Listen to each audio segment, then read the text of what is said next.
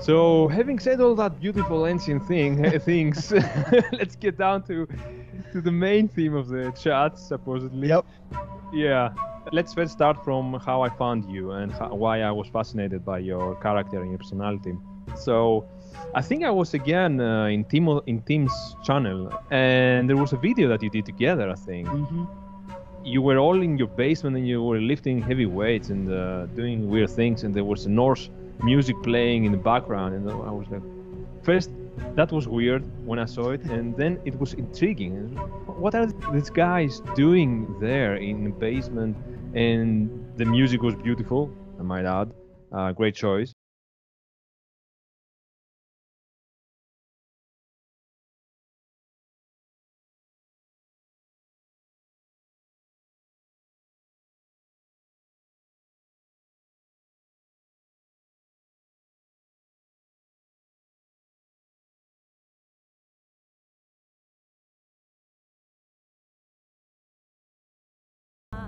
And then I saw your your tools and the things you did, and then I dived into to your Instagram and your thing, and I, and, and I was, it was the first time for me because many people in fitness, you know, we know the basics, we know the gyms, you know, we know the machines, you know the programming, uh, programming exercises and uh, muscles and blah blah blah, the very basic stuff.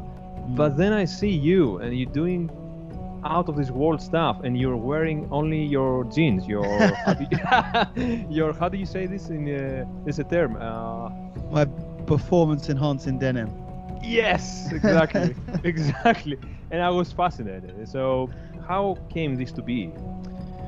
Yeah, I guess the you, you know it's always funny when uh, people talk about my strength training stuff because for so many people it is like you said very strange, very weird stuff that they haven't seen before. Whereas for me, if I go into a gym and I see people doing machines, it's very strange to me. It's that's what I consider weird. I do what I do, I consider it normal, and what most people would consider as normal, I consider to be strange.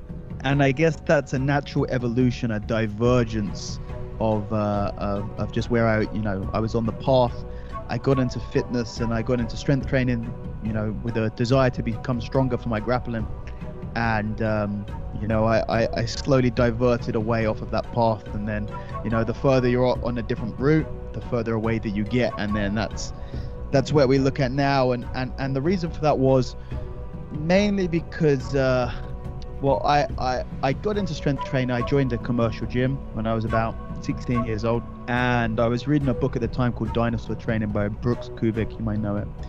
And uh, he he hates the commercial gym world. And he says, forget about that. Forget about the fancy machines. You just need a thick bar. You need some weights. You need to do curls and presses and deadlift and squat and bench and row. And that's all you need. So I took it the heart, and you know, when I was 16 or 17, probably 17 years old, I cancelled my gym membership, and instead I just bought a, a thick bar with like 90 kilos of weights, and and and that's it. I just had that one bar, just one thing, and and and you know, everything else, any all, all the other equipment that I used was stuff that I just had made together, DIY stuff, chains and ropes and cardboard boxes and everything and I started training like that.